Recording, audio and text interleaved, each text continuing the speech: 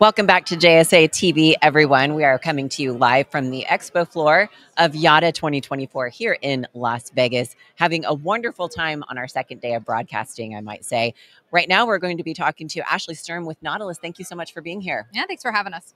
So, before we get into it, you guys had a, a really cool announcement that we're going to talk about in just a moment. But just to set the stage for folks who might not be aware of Nautilus and what you do, can you just let us know how you fit into the landscape here? Yeah, so Nautilus years ago developed a zero water consumption cooling system and that's really morphed into what our team's main effort was to get this ability to as many people as we could. So we run EcoCore in an infrastructure and now on a CDU line.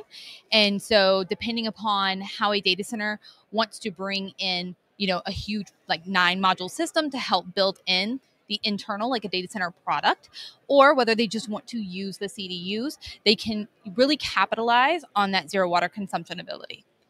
Very cool. And you just had, you mentioned uh, EcoCore. You just yes, had a very yeah. cool announcement with that yesterday on yeah. EcoCore Cool. Yes. Tell us about that.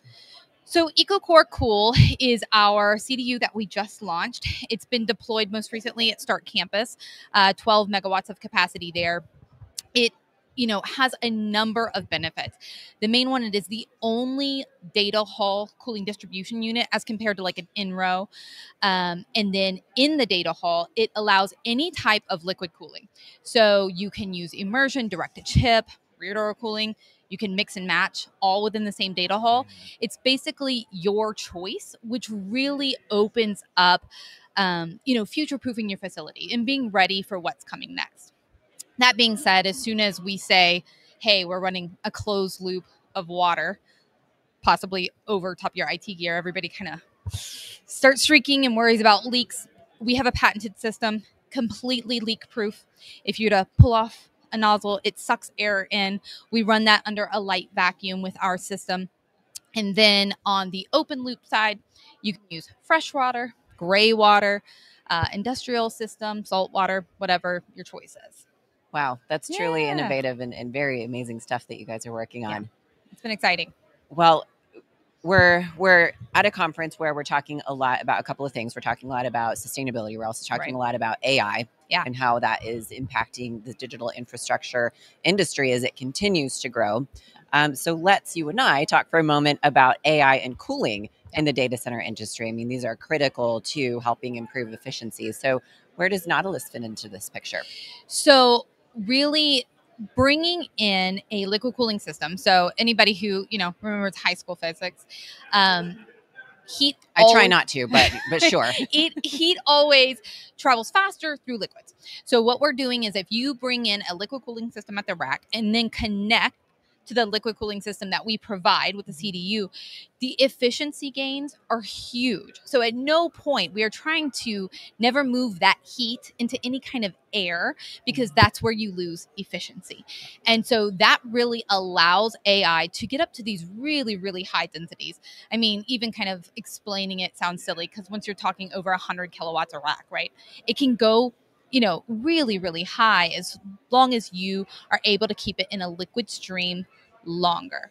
And that's how EcoCore Cool really helps benefit. We're keeping that heat in the liquid stream, removing it faster, becoming more efficient, and at the same time allowing sustainability to take, you know, front and center. Yeah.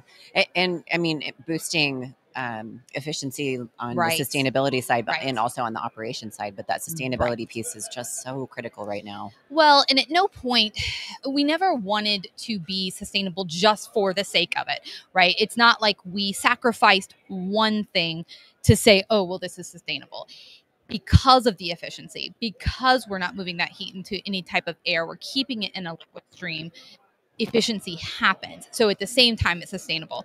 Now, of course, the zero water consumption, if they so choose to hook it up to salt water, as Start Campus is going to, um, then they also have that zero water consumption on that open loop.